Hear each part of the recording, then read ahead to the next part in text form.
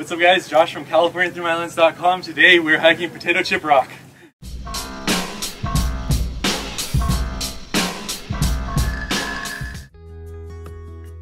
While there are a few ways to hike to Potato Chip Rock, we started at the parking area for Lake Poway Park. Note that it does cost to park in this area on the weekends and the holidays.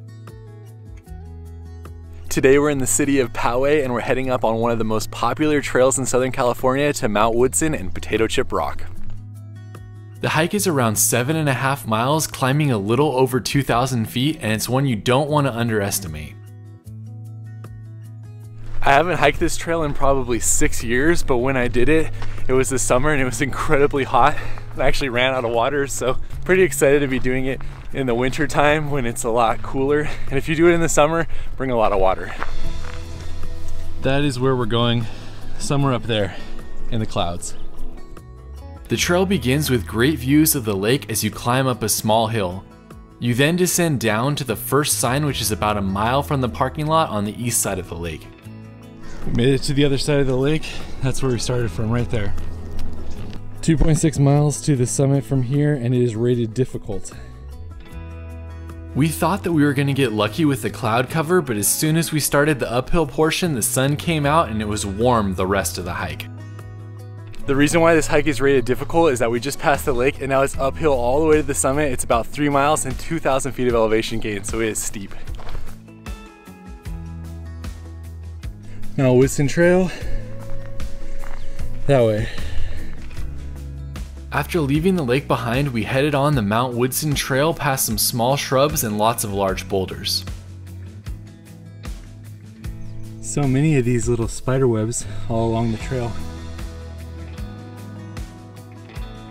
This part of the trail is really nice in the morning. It's pretty steep, but it's got good shade. We reached a split we're going that way.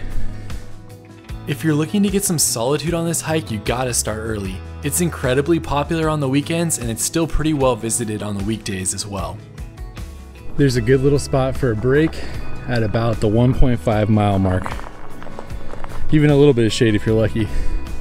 Taking a shade break while I'm waiting for Jared, don't underestimate this hike, it is definitely steep.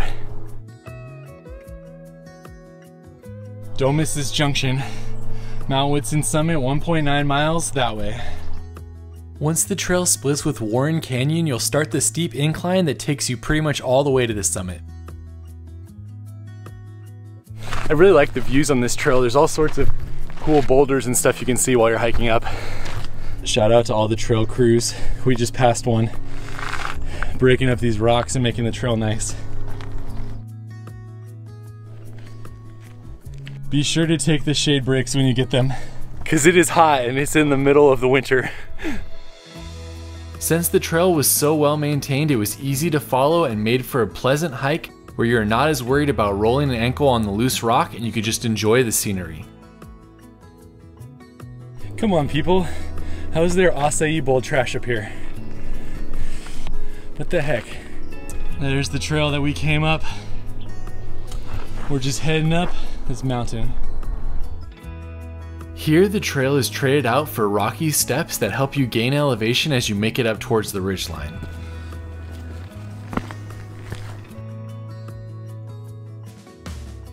We're just continuing to go up. The benefit to this elevation gain is that the views continue to get better and better as you make your way up.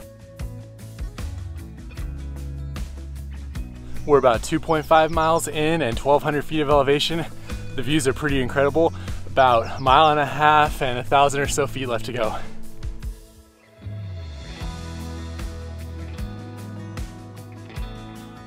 We've made it to the Ridge Junction.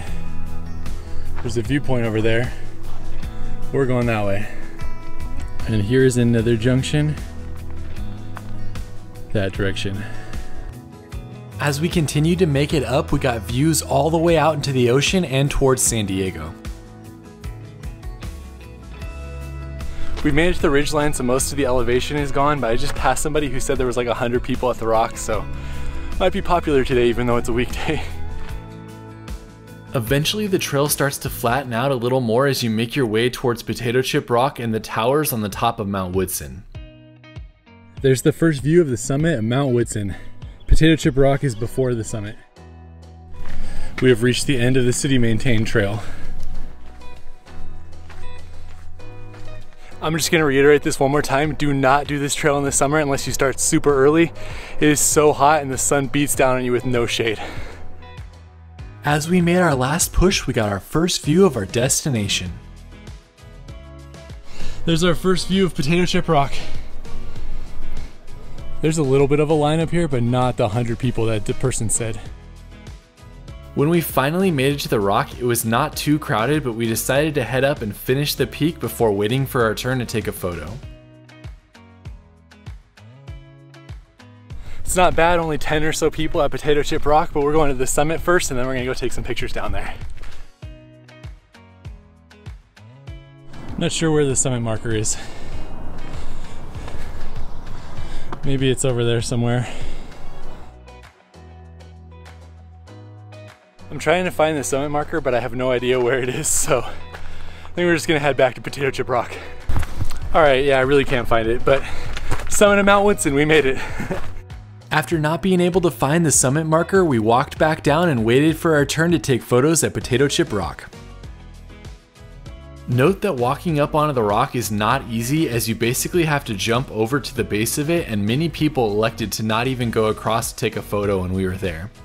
It's well worth the effort though as the views from the rock are cool and the pictures of you on the rock are cool as well. Made it to the top of Potato Chip Rock. Since it had been so long since I had visited the rock, I had to take one of the most common photos while I was there. Do note that I've heard on the weekends there can be up to an hour's wait to get a photo on the rock. All that said, it is a pretty fun spot to take a hike though. All right, we're leaving Potato Chip Rock and we're heading back to the car. Thanks for hiking with us and we'll see you on the next video. People have been asking where I eat after a hike, so I'll try to include it on future videos. For this video, we went to Burger Bench in Escondido.